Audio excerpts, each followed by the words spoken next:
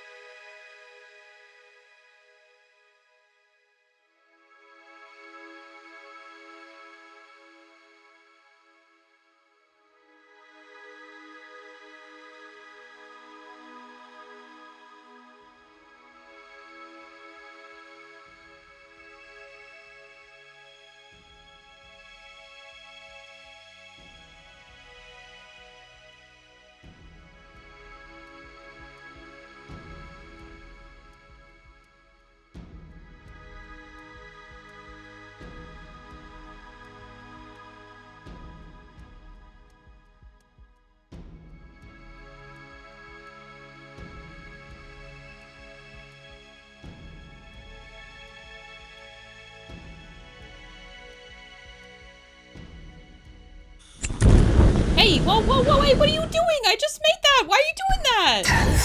You can't go. Look at these people. They don't know what you're doing.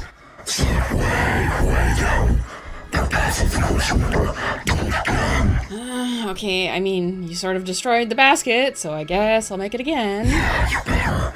I mean, just look at Kevin over there. He's so confused. He can't keep up.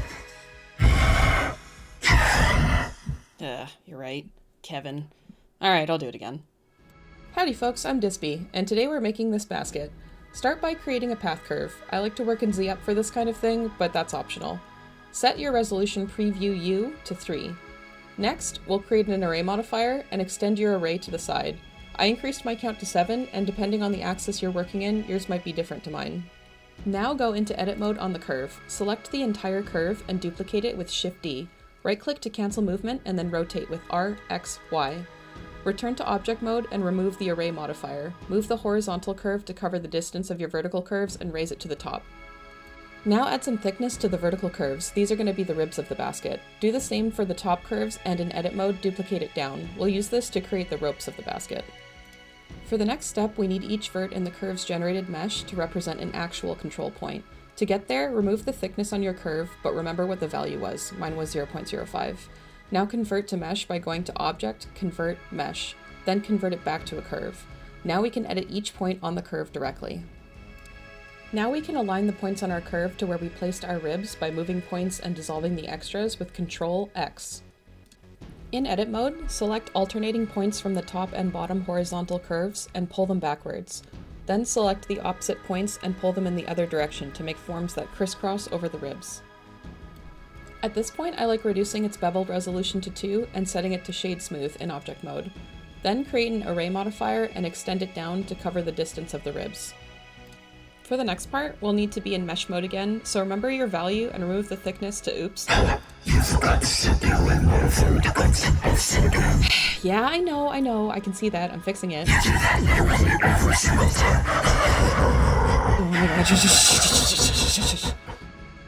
Okay, anyway, so adjust your setting under constant before you remove the depth on your curves. Now we can convert all the curves into mesh and build the repeating pieces. Delete the last rib and create an array to extend to the side. Now we need a plane to use the surface deform modifier to bend this array. Create one and position it to snap to the outermost vertices of your mesh. Now add loops to make the faces proportionally square before subdividing. Enable simple on your subdivision modifier to prevent the corners from smoothing in. Sometimes it's helpful to apply this modifier a few times until you get the density that you're looking for. Now select your basket mesh and apply the surface deform modifier. Select the plane you created as your target mesh and click bind. Now select your wrap base and apply a simple deform modifier. We can now see that we're able to bend and twist the basket mesh using this plane. Find the axis under bend that will allow us to rotate backwards. If none of the axes are working, that might mean our orientation is off. To fix this, enter edit mode and rotate your mesh 90 degrees and check if you are now able to bend in the right axis. After doing this, I like to rotate it back up in object mode so my working space is vertical. You can now set your bend angle to positive or negative 360 to form a circle. Create a lattice and position it around your basket in object mode. Add a bit more resolution to give us some control in the lattice settings of the property panel, and then in edit mode, we can now deform our lattice to shape the basket. Once you're happy with the shape of your basket, enable merge on your array modifier to fuse the points together, and then you can apply the modifier. Then I like to select random loops with L in edit mode to make sure all the verts are fused where they should be. If you did it correctly, the whole loop will light up. At this point, I like to zero out the mesh, and then you can convert the geometry to a curve once more, and then re-input the depth. At this point, I decided to make it a little bit shorter and do some additional shaping with another lattice.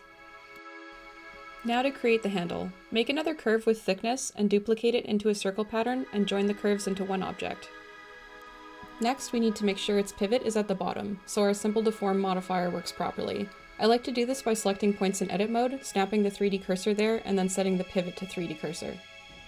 Now you can put a simple deform modifier onto it. Set it to twist and set it how you want. I chose a value of 600. Rotate your model sideways and place a curve through it. Make sure the pivot point of the curve and the mesh are the same. Now we can put a curve modifier on the handle and select the same curve. We now have curve control to bend this handle into position. You can now shape and bend the handle to your liking.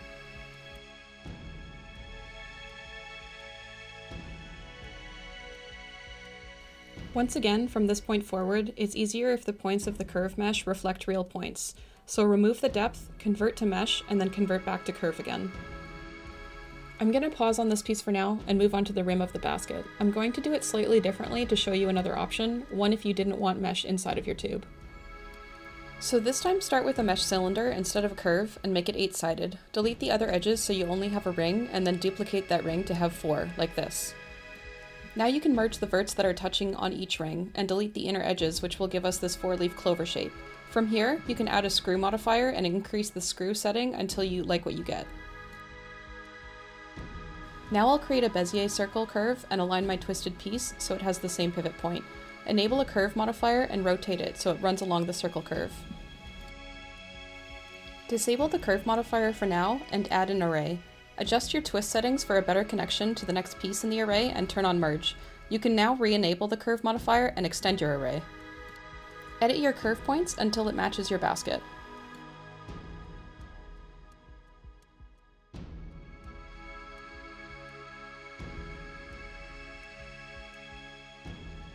Edit the ribs of your basket so that it fits nicely inside the curve that you've just created. When you're satisfied with that, you can duplicate both the curve and the geometry down for another rim detail further down in the basket. Once you like the position of your rims, you can extend the array modifier so it goes over the other side and then apply it. Go into edit mode and cut away the extra geometry and join the two sides by merging vertices or using F to bridge across the gap. Be mindful to continue the twisting of your geometry and wiggle the new edges with edge sliding to relax them. Now I'm going to return to the handle. I'm going to create a small detail that binds it together by creating a curve and then using extrude instead of depth, and then apply a solidify modifier. Duplicate those curves upwards a few times and then bump them around a little bit with soft select enabled to make them look a bit more natural.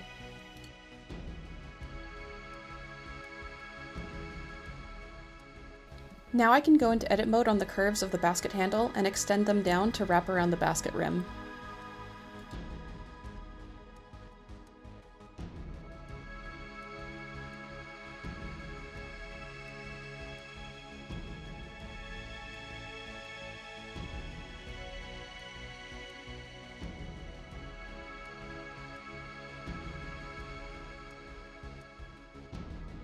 At this point, I duplicated the handle curve and scaled it negatively in x-axis to flip it. I then deleted all the points leading up until the wraparound portion and merged that new curve in order to mirror our work without ruining the twist.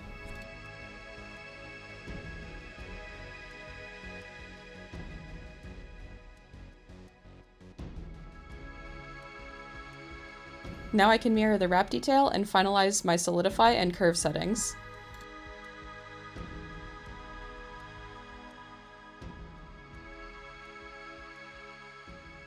Now I'm going to go through the process of converting my curves to geometry so I can merge the points more easily. You can do this in curve mode too, but I like doing it in geometry mode better.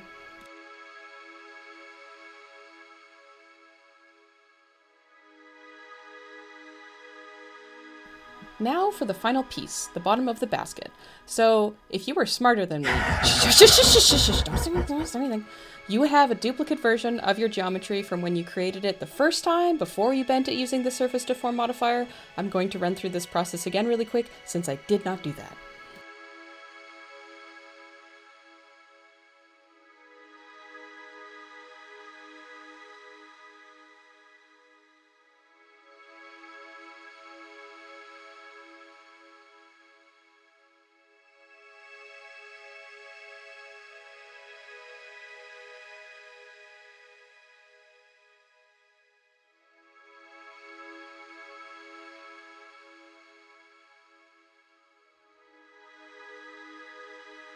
Okay, now that all the pieces are in place, I'm going to finalize this basket by clipping all the loose edges and tucking them into the rims.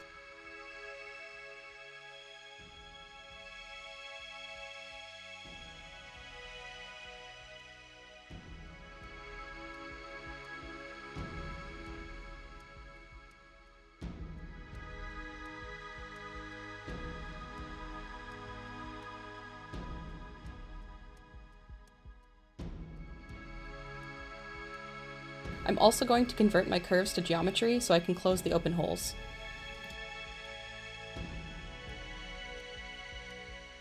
Okay, and there you have it, folks. That's my method for making a basket in Blender. Are you serious? Again? Can you not? Oh, okay. Hey, thanks.